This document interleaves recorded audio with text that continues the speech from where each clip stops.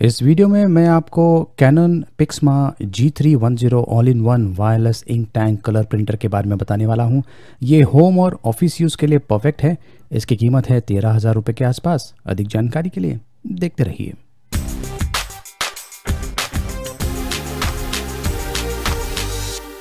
नमस्कार दोस्तों, मैं हूँ गोगी और ये है Canon Pixma G3010 all in one wireless ink tank colour printer का बॉक्स पैकिंग बॉक्स के ऊपर ही आपको इस प्रोडक्ट के बारे में काफ़ी जानकारी मिल जाएगी और ये जो इंक बॉटल है पर इंक बॉटल कितना पेजेस प्रिंट कर सकता है, वो भी बॉक्स के ऊपर मेंशन किया हुआ है।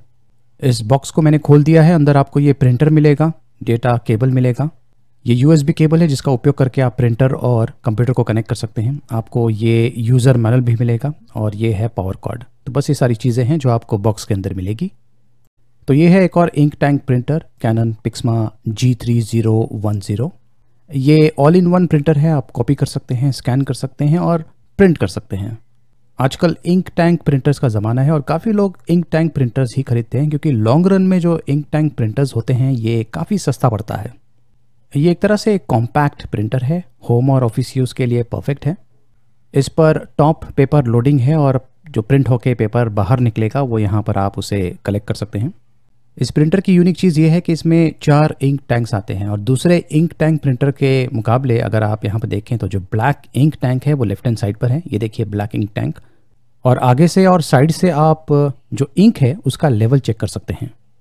और राइट हैंड साइड पर आपको इंक टैंक्स मिलेंगे, कलर इंक टैंक्स। और ये जो इंक है उसका लेवल कितना है वो आगे से आप चेक कर सकते हैं और एक कलर का आप राइट हैंड साइड से चेक कर सकते हैं। तो ये देखिए, इस प्रकार का प्रिंटर है। जो पेपर है, उसे आप यहाँ पर लोड कर सकते हैं और अगर आपको डॉक्यूमेंट स्कैन करना है या कॉपी करना है तो इसका उपयोग कर सकते हैं। और ये जो भाग है, इसे उठाते ही यहाँ पर अगर कुछ कारणवश पेपर फंस जाता है तो आप यहाँ से उसे निकाल सकते हैं। और ये है colour ink tank. C M Y tanks है और अगर आपको इंक को फिल करना है, रिफ़िल करना है तो आप यहाँ से उसे कर सकते हैं। जैसा कि आप देख सकते हैं इंक टैंक ट्रांसपेरेंट है। आपको जो इंक लेवल है, वो तुरंत ही पता चल जाएगा। और यहाँ पर लेफ़्ट हैंड साइड पर ब्लैक इंक टैंक है। और ये जो ब्लैक इंक टैंक है, ये थोड़ा सा बड़ा है। आमतौर पे ब्लैक इंक का ज़्यादा उपयोग होता है, इसलिए ये जो ब्लैक इंक टैंक है, इसे लेफ़्ट हैंड साइड पर रखा हुआ है। और इसका जो साइज़ है, ये थोड़ा सा बड़ा भी है। तो अगर आपको इंक फिल करना है तो ये जो भाग है, इसे आप इस प्रकार से उठा सकते हैं। ये देखिए। यहाँ पर आप देख सकते हैं, कुछ केबल्स है और ट्यूब भी है, जिसके ज़रिए जो इंक है, वो पास होकर प्रिंट होता है। जो कंट्रोल्स है, वो ऊपर की तरफ़ दिया हुआ है। यहाँ पर आप देख सकते हैं पावर ऑन ऑफ़ का बटन है वायरलेस के लिए तीन बटन्स दिया हुआ है मेंटेनेंस का बटन है। एक छोटा सा स्क्रीन भी है और कुछ और बटन्स है जिनका आप उपयोग कर सकते हैं। आगे से ये प्रिंटर इस प्रकार का दिखता है और पीछे से ये इस प्रकार का दिखता है।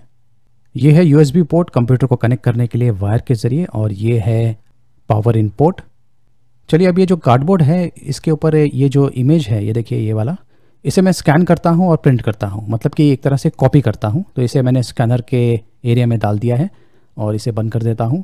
और देख सकते हैं कि पेपर को भी मैंने यहाँ पर लोड कर दिया है। ए फोर साइज़ का पेपर है। और अब ये जो बटन है कलर वाला बटन इसे प्रेस करते ही ये ऑटोमेटिकली जो कंटेंट है, उसे स्कैन करेगा और प्रिंट करेगा। एक तरह से इसे कॉपी कहते हैं। तो अगर आपके पास ऑल इन वन प्रिंटर है तो आप जब चाहे तब स्कैनर प्रिंट कर सकते हैं। एक तरह से जेरोक्स मशीन की तरह इसका उपयोग कर सकते हैं। पेपर को अंदर ले लिया है और अब प्रिंटिंग होना शुरू हो गया है, जैसा कि आप देख सकते हैं।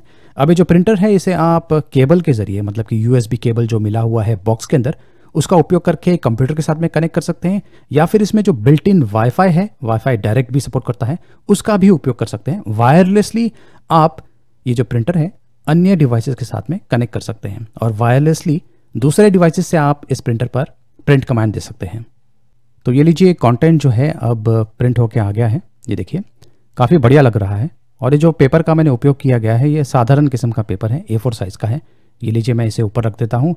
और जो ओरिजिनल कॉपी जो है, उसे भी मैंने साइड में रख दिया है। देख सकते हैं कि कलर रिप्रोडक्शन एकदम परफेक्ट है, लेकिन क्वालिटी में आपको थोड़ा सा अंतर दिख जाएगा, क्योंकि पेपर का जो क्वालिटी है वो दोनों ही अलग अलग है, जैसा कि आप देख सकते हैं।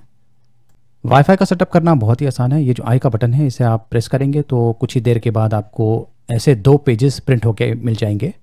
ये एक तरह से डायग्नोस्टिक रिपोर्ट है और यहाँ पर आपको जो वाईफाई है वाईफाई का जो एसएसआईडी है और जो पासवर्ड है, उसके बारे में भी जानकारी यहाँ पर मिल जाएगी। एक कलर बॉटल की कीमत है चार सौ सत्तर रुपये और जो ब्लैक कलर है, उसकी कीमत भी चार सौ सत्तर रुपये है। कॉस्ट पर पेजेस की बात करें तो ब्लैक एंड वाइट प्रिंट आपको तकरीबन आठ पैसे पर पेज पड़ जाएगा और जो कलर प्रिंट है, वो आपको तकरीबन इक्कीस पैसे पर पेज पड़ जाएगा। ब्लैक एंड वाइट प्रिंट अगर आप करते हैं तो एक बॉटल से आप तकरीबन 6000 पेजेस प्रिंट कर सकते हैं और जो कलर बॉटल्स हैं, तीन बॉटल्स को मिला के आप तकरीबन 7000 पेजेस को प्रिंट कर सकते हैं कलर प्रिंट कर सकते हैं। तो ये बहुत ही बढ़िया प्रिंटर है और आजकल ज़्यादा करके लोग इंक टैंक प्रिंटर्स का ही उपयोग करते हैं। इनिशियल कॉस्ट तो आपको पड़ जाएगा, तकरीबन तेरह हज़ार रुपये का है, लेकिन लॉन्ग रन में आपको ये काफ़ी सस्ता पड़ेगा। इसके साथ में आप प्रिंट कर सकते हैं स्कैन कर सकते हैं कॉपी कर सकते हैं और अच्छी बात यह है कि आप वाईफाई का उपयोग करके वायरलेसली प्रिंट भी कर सकते हैं। इंक टैंक प्रिंटर की एक और खासियत यह है कि इसका जो इंक है वो इतनी जल्दी सूखता नहीं है।